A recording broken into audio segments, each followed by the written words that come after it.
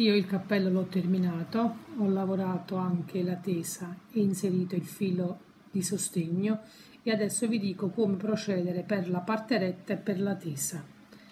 Lavorato l'undicesimo giro quello di mezza maglia alta punto su punto abbiamo concluso la lavorazione della corona. Partendo dalla chiusura del giro nel primo punto andrete a lavorare tre punti alti.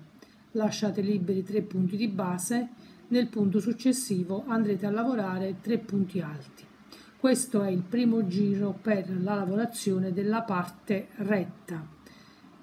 Ed è anche il dodicesimo giro. Tutti i numeri sono sempre riferiti alle mie misure.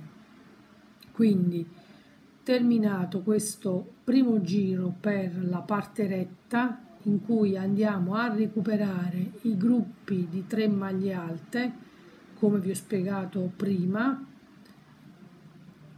I giri successivi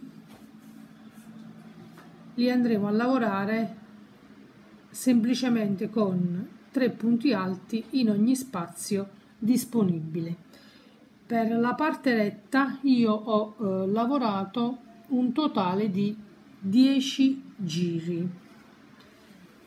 Terminati i 10 giri per la parte retta che corrispondono ai miei 9 cm ho iniziato la lavorazione della tesa nel primo giro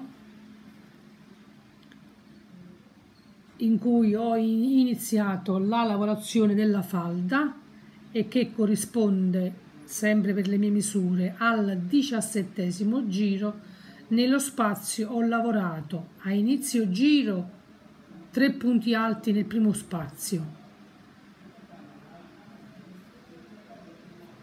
Ho lavorato un secondo gruppo di tre punti alti nello spazio successivo e dopo ho fatto l'aumento praticamente in questo giro andremo a lavorare un aumento che è composto da due maglie alte, una catenella e due maglie alte nello spazio ogni due blocchi di 3 vedete?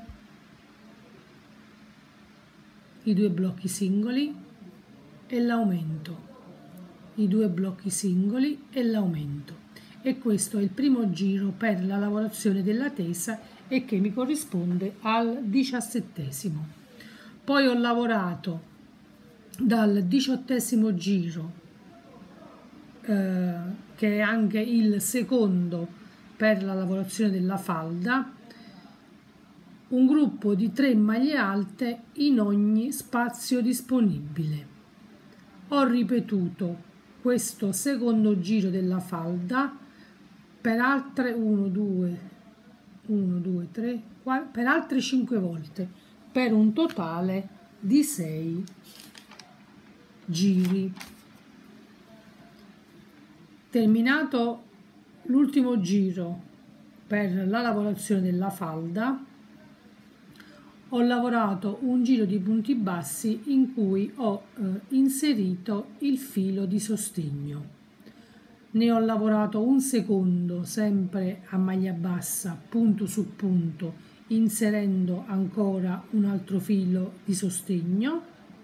E poi ho dato due giri di rifinitura nei colori del cappello uno in grigio e uno in nero lavorando un punto basso in ogni punto disponibile. E il nostro cappello è terminato. E con l'inserimento del filo di sostegno vedete che la tesa non sfarfalla ma è bella distesa